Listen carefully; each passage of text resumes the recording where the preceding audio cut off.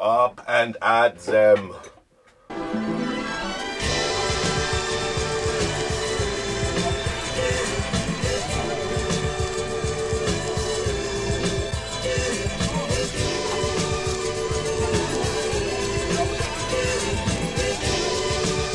So it's day two.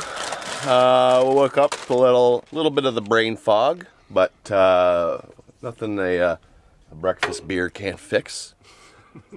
And uh, just eating some lunch, and then we're probably going to uh, maybe take the Zodiac out for a rip.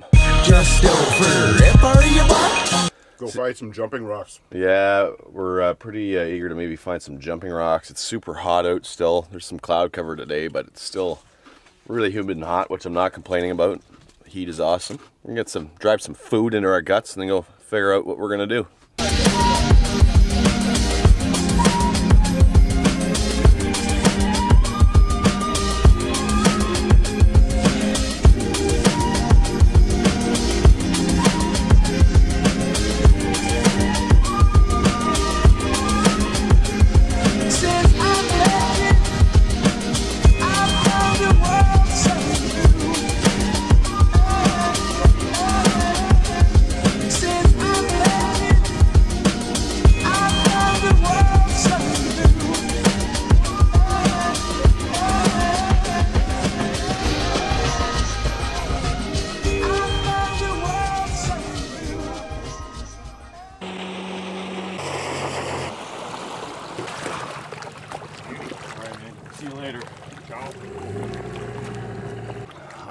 So we're gonna do something a little bit different now. Um, been on the boat for uh, I don't know 36 hours or so. Figured just to change things up, I'm gonna spend the last 24 hours out here on the French by myself on shore, and I'm gonna kind of do like a Les Stroud Survivor Man thing. I'm gonna live off the land. I'm gonna show you guys some tips about survival, how to forage, how to find uh, you know edible uh, berries, nuts, uh, that kind of thing, how to build a fire. And uh, I'll spend the night out here, maybe build a shelter, and uh, show you guys uh, a little something about you know how to survive in the beautiful northern Ontario wilderness. All right. Okay, so I've just stumbled upon, it looks like a pretty good bushel here. I often uh, refer to these as uh, Northern Ontario walnuts. They're quite good. They're full of uh, protein, very nutritious, and uh, okay, that's terrible. That is awful. Jesus.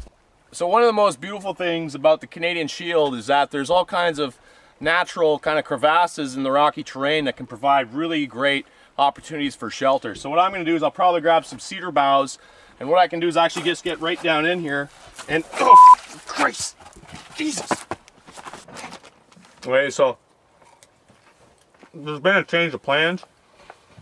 While I was on shore, I uh, I'm pretty sure, like I'm 80% sure I smelled a bear.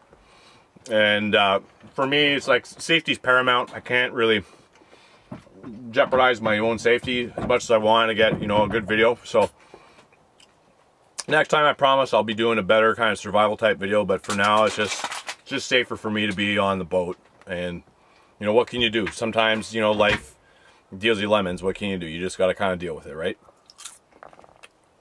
So the conditions weren't real great for fishing today. So we only had the one fish we caught last night. But here's a pro tip. Everything's better if you wrap it in bacon, which is, I mean, kind of a obvious thing to say. So what you do is you dice up the fillet in some pieces, you wrap it in bacon, and then you'll see what we're gonna do. We're gonna barbecue it with some barbecue sauce. It's pretty decent. I like the way you work it, no diggity. I got to bag it up. Bag it up. I like the way you work it, no diggity. I got to bag it up. Bag it up. So my brother's towel was hanging here before we left to go cliff jumping and we came back and now it's not and he's very adamant about getting this towel back. Did you get it? No, it's way too deep. Not with that attitude. Get back down there. There's just no way. There's no way. It's deep.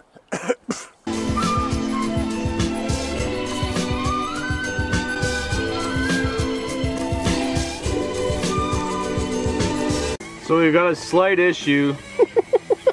the barbecue is not supposed to be at that angle. That's the pan that was in there. There was a whole Kinda- bunch of chicken wings in there. It's kind of floating away. These chicken wings look so boss too. They were gonna be amazing. I regret not eating more of those Northern Ontario walnuts. Yeah, we uh, I really busted it up good. we really fucked that one up. And so now, just like when my brother was looking for his towel, but now it's a little bit more desperate. Because he's trying to find the pieces of his barbecue. And it's about 10 feet of water, and there's no real light. It's pretty dark. No goggles. He's very confident that he can get this back.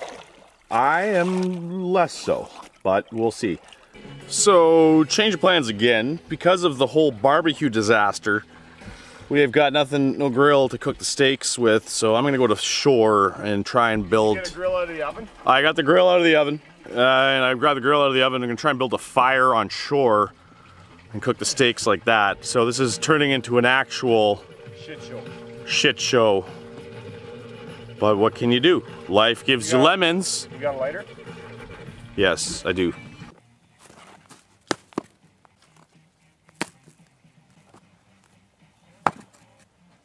Luckily, I've got this old trick. I collected some old birch bark. You might not be able to see from that angle, but some old birch bark from some trees. It's a trick for some good kindling.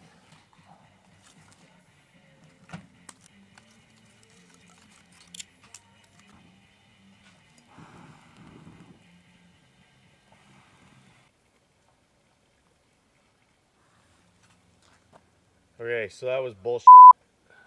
Um, now I guess I need some actual birch bark because the paper towel that I claimed to be birch bark didn't didn't work. So You got like fucking six pounds of steak here. It's ridiculous. I know it's all right.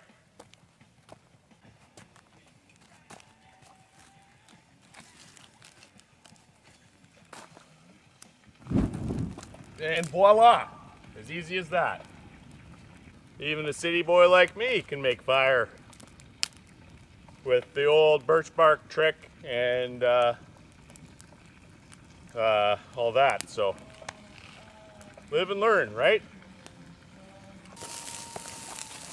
So I got the flames a little bit too high here, but uh, what really seals in the flavor is that uh, little bit of gas just gives it that little hint of two-stroke uh, mesquite, kind of like that Montana steakhouse flavor you try to get.